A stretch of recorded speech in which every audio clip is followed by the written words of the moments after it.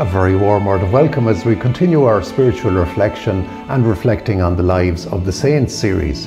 St. Ignatius of Loyola often said that it was because of his reading and reflecting on the lives of the saints that he got so much closer to God and was so instrumental in so much of the good work that he did in later years.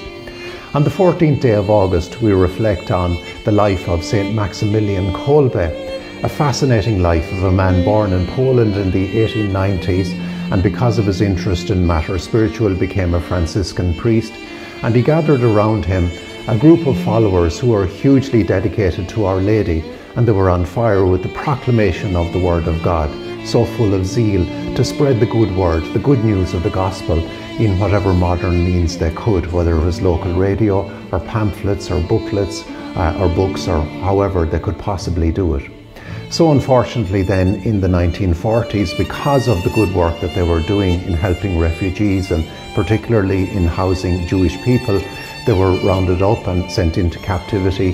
And the story is very famous that Maximilian Kolbe sacrificed his life for the life of a family man. And that man was present at his canonization in later years. There is a beautiful prayer that captures the essence of this feast day, and it runs as follows Grant, O Lord Jesus, that I too may give myself entirely, without reserve, to the love and service of my heavenly Queen in order to better love and serve all people in imitation of your humble servant, Saint Maximilian Kolbe. Help me to learn by this example and grow in sanctity, knowing that you call us all to sainthood. Saint Maximilian Kolbe, pray for us all. Amen.